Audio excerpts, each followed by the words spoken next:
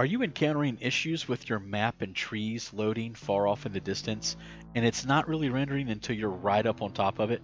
I was having the same issue. Here's how I fixed it. So first thing we want to check is go to start and type in Xbox networking. We want to check the networking connection to Xbox servers and it's already running a test when you first open it so we're going to see what we get. So this is the main thing here.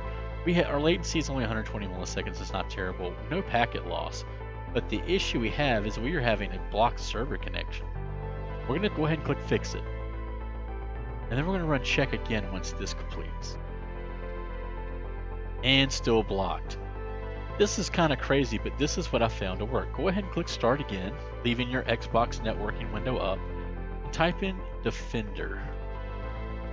So we want to go to Windows Defender Firewall.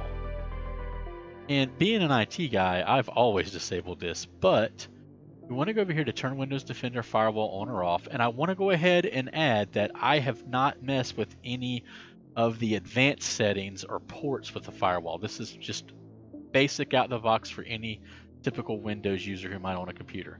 So we're going to turn on both for private and public networks and hit OK. Now we see that they're on. Go ahead and close this. We're going to ahead and fix it again.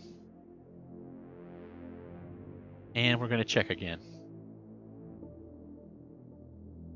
Oh, let's fix it one more time. We're still blocked.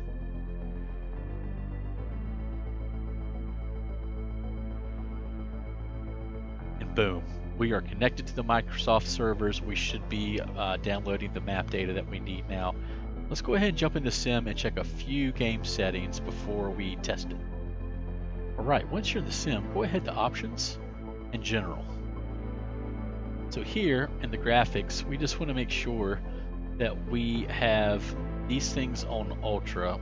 Depending on your graphics card, of course. I mean, high still good. High still going to give you a really good picture.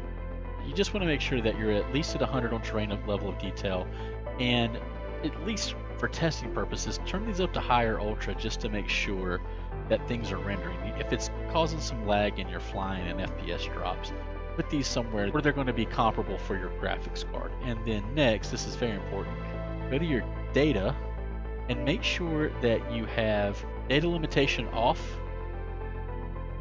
your bandwidth set to unlimited, and uh, make sure that you've got everything up here should be on, but at least have online functionality, Bing data world graphics, photogrammetry.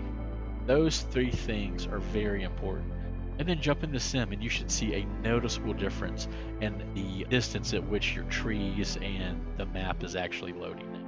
Well, I hope that this was helpful to some people in resolving their map and tree loading issues. Until next time, take care.